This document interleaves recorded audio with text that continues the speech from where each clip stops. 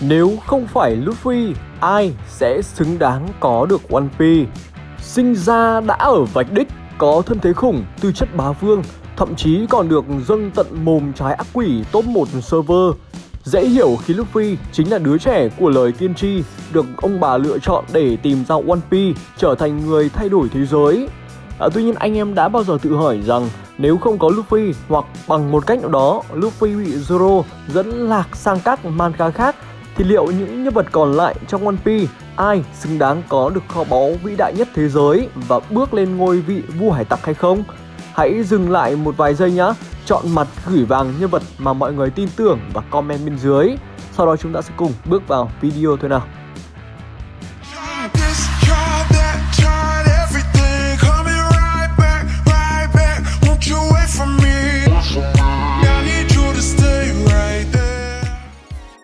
Xanh, đầu tiên cũng là kẻ xứng đáng tìm được One Piece nhất trong lòng của Song Soi, không ai khác ngoài chủ tịch hội người tàn. Nhưng mà không phế, người đi đầu trong phong trào tóc không máu lửa, đời không nể, xanh tóc đỏ. Đầu tiên là về thân thế, dù sở hữu dòng máu thiên long nhân, thậm chí còn là thiên long nhân đỉnh cao của dòng họ Figaland, nhưng 100% xanh không hề muốn chấp nhận điều đó đâu trong tư tưởng của mình, tóc đỏ là một hải tặc được Roger đào tạo để trở thành người thay thế ông giữ cân bằng cho thế giới mà thôi. Về sức mạnh sau khi mà Big Kai đi bán muối để tìm được một người có thể đánh bại tóc đỏ là vô cùng khó khăn rồi. Những tứ hoàng mới nổi không ai đủ tuổi, đô đốc thì lại càng không. Có chăng chỉ có những ông già gân tại thánh địa mà thôi. Với sức mạnh vô tiền khoáng hậu ấy dễ hiểu khi mà Xanh có thể tuyên bố rằng mình là kẻ mạnh nhất trên biển thời điểm hiện tại, giống như cái cách mà dâu trắng hay là Kaido đã từng làm trước đây.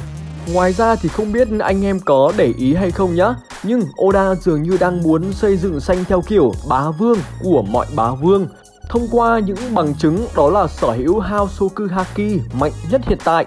Dù là Luffy, Kaido cũng không sánh bằng, À, tuy nhiên có một điều khá là bất công, dù là du hành trên biển suốt gần 20 năm, nhưng đến tận bây giờ ấy, Xanh thì vẫn chưa được xác nhận đó là sở hữu bất kỳ một phiến polyp nào cho đến khi mà chấn lột được cả của băng kít. Tức là xét theo một hướng nào đó chúng ta cũng có thể nói rằng băng tóc đỏ ăn trên xương máu người khác. À đùa đấy, một vị nhân đã từng nói rằng trong xã hội này không có đúng có sai, chỉ có mạnh yếu mà anh em. Tóm cái váy lại nhá, dù xét về thân phận, sức mạnh hay là tư tưởng xanh đều xứng đáng trở thành vua hải tặc đời tiếp theo. Thứ duy nhất cản trở anh là không có chữ đi trong tên mà thôi. Bởi theo lời Roger, những kẻ mang chữ đi mới là những kẻ được định mệnh lựa chọn để thay đổi thế giới.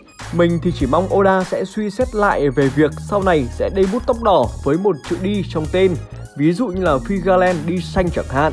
Đến VV thì còn được thì có lý do nào mà xanh lại không đâu. Đâu có ai quy định dòng máu Thiên Long Nhân không được sở hữu chữ đi ở trong tên, cô nào anh em?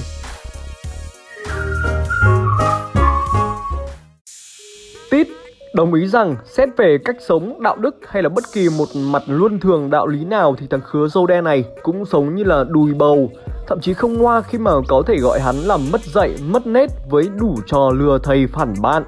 Nhưng mà nói đi cũng phải nói lại thôi Nếu xét trên một vài phương diện khác thì Tít vẫn là một kẻ xứng đáng cho danh hiệu vua hải tặc Tại Mock Town, khi mà Bellamy buông lời chém gió và gọi những hải tặc có ước mơ là bọn ngu ngốc thì dâu đen đã phản bác lại ý kiến ấy và cho rằng ước mơ của con người là không bao giờ chết.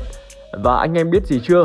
Tư tưởng ấy giống hệt câu nói để đời của Roger khi mà bàn về ước mơ của con người rằng có ba thứ không bao giờ chết ý chí được truyền lại, dòng chảy của thời gian và ước mơ của con người. Sau đó nữa, thái độ và tư tưởng làm hải tặc của dâu đen cũng là thứ vô cùng ấn tượng nhá. Dù chúng ta cũng chưa được biết cụ thể là gì nhưng mà chỉ với một vài câu nói đơn giản thôi, Tít đã thuyết phục được cư gian gia nhập chứng tỏ hắn phải mang một tầm nhìn khiến người khác phải thán phục. Trên tất cả, dâu đen giống như là xe béc trước đây, dù có tư tưởng bất dạy nhưng hắn vẫn mang chữ đi trong tên và không đổi trời chung với chính phủ thế giới. Không ít lần chúng ta thấy Tít khiêu chiến thẳng mặt với hải quân và xem đám thi long nhân chẳng ra ngô ra khoai gì. Mà anh em thử nghĩ đi nhá, nhiệm vụ lớn nhất của tộc nhân đi chẳng phải là lật đổ ách thống trị của thiên long nhân hay sao?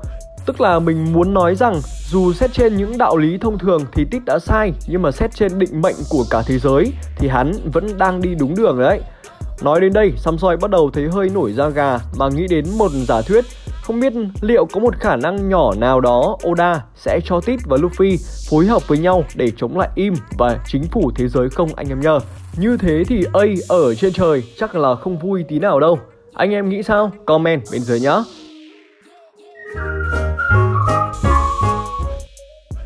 Tiếp theo là Bucky. Ban đầu khi mà chứng kiến khả năng tấu hề xuyên lục địa cùng với những pha may mắn vô đối, ai nấy đều cho rằng Buggy cũng giống như là King ở trong One Span Man hay là Satan ở trong Dragon Ball, chuyên đảm nhận vai trò tạo tiếng cười cho bộ truyện, nhưng mà không nhá.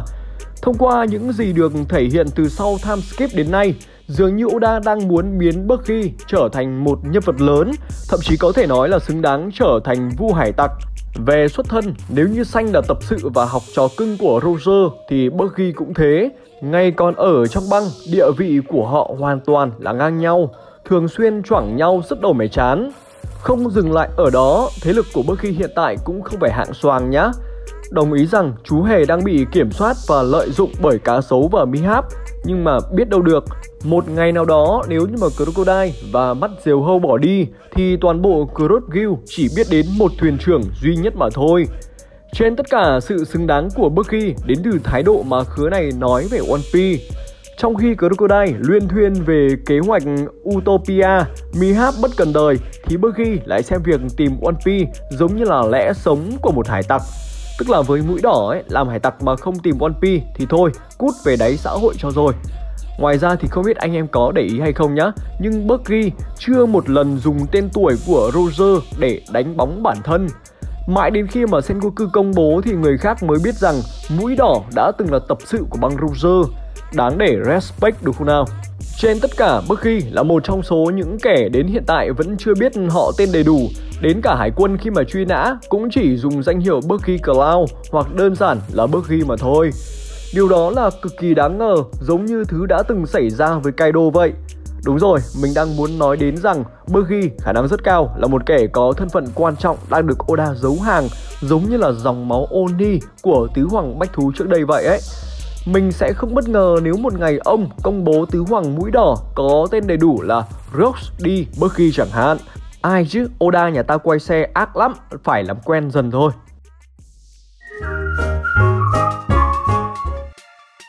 Kaido, tứ hoàng bách thú đã từng nói một câu vô cùng ngầu lòi rằng Mỗi tháng ta cần có ít nhất 12.000 trái smile Cho nên thằng nào có tiền, nạp tiền vào donate cho tao Ít thì 5 quả trứng, nhiều thì một tên lửa À mình đùa đấy, chẳng có Kaido nào nói cả Thật ra đây là một văn mẫu của ăn cướp những năm 2080 cơ Quay trở lại với tứ hoàng bách thú nhá Câu nói mà Samsoi muốn nhắc đến đó chính là Chỉ Joy Boy mới có thể đánh bại ta Tức là trên thế giới hiện tại dù là xanh tóc đỏ, chính phủ thế giới hay là các tứ hoàng khác trong mắt ông ấy chẳng là cái đếch gì cả. Và đó thì chính là căn cứ cho việc tứ hoàng bách thú hoàn toàn xứng đáng trở thành vu hải tặc.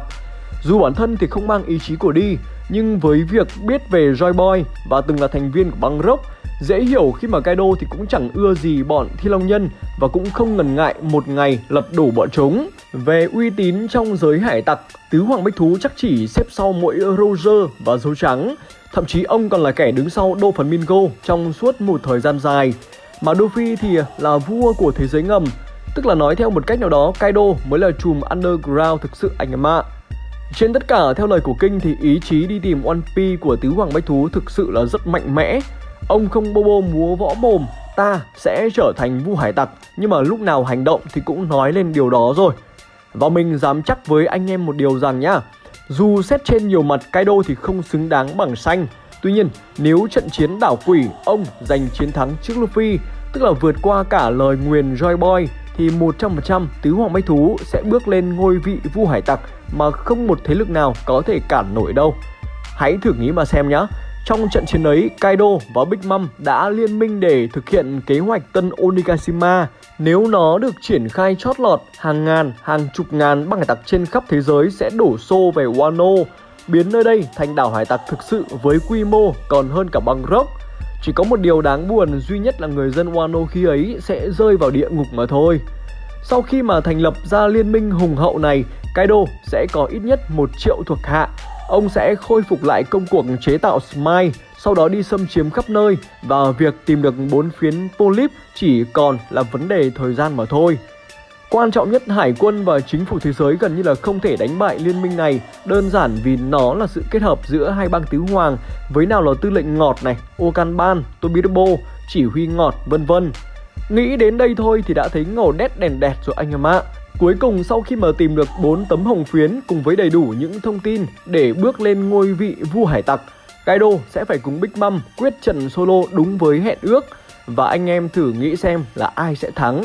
Đương nhiên sẽ là tứ hoàng bách thú sẽ vượt qua bà chị gái mưa rồi. Gì chứ xét về sức mạnh thì mình vẫn thấy rằng Big Mom là không đủ tuổi nhá. Anh em nào đồng ý thì ấn một like cho mình biết nhá.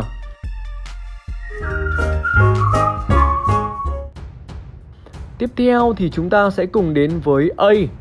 Cuối cùng trong video thì chắc chắn đó là A, kẻ có thể biến danh hiệu vua hải tặc trở thành cha truyền con nối.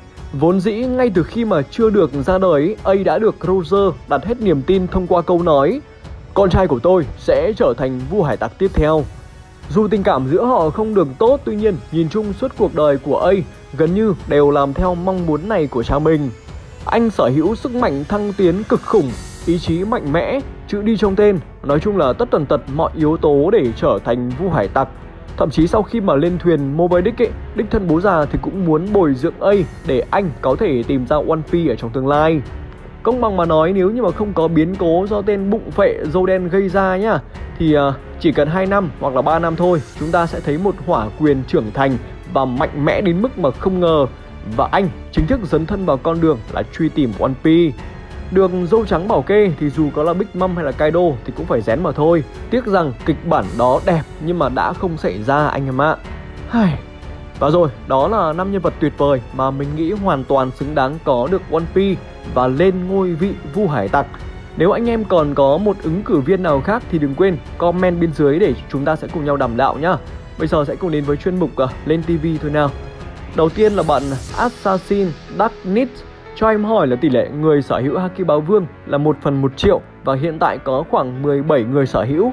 Vậy dân số ở trong One Piece là hơn 17 triệu người hả anh? À, việc tỷ lệ người sở hữu Haki báo vương là 1 trên 1 triệu chắc chỉ là nhằm mô tả sự hiếm có của nó mà thôi nhá. Chứ theo nhiều phương tiện bên lề thì thế giới One Piece thật ra thì rất to lớn và đông đúc, chẳng kém gì thế giới của chúng ta đâu. Tức là ít nhất thì cũng phải à, 7 đến 8 tỷ người đấy. Tiếp theo là bạn Dũng Quốc cho hỏi xăm soi, tứ hoàng thức tỉnh trái ác quỷ mình thấy ai cũng tạo ra gió sấm chớp hết. Đó là vì trái ác quỷ hay là Haki báo vương? Hiệu ứng xét đen thì đến từ Haki báo vương cấp cao, còn hiệu ứng gió thì đơn giản là uy lực của đòn tấn công thôi mà ạ. Chẳng liên quan gì đến thức tỉnh trái ác quỷ đâu. Tiếp theo là bạn hoàng tử phổ biến. Trong One Piece, trái tàng hình là trái tối thượng anh em nhé. À, trái này thì chỉ tối thượng trong một số hoàn cảnh nhất định thôi, ví dụ như là nhà tắm chẳng hạn. Và cuối cùng nếu anh em nào muốn lên TV và cùng trò chuyện với Song Soi, đừng quên để lại comment bên dưới cũng như là ấn một nút like, một nút chuông để đăng ký nhá. Đó thì sẽ là nguồn động lực lớn để mình tiếp tục phục vụ anh em trong tương lai đấy. Cảm ơn và hẹn gặp lại các thuyền viên vào những clip tiếp theo nha. Bye bye.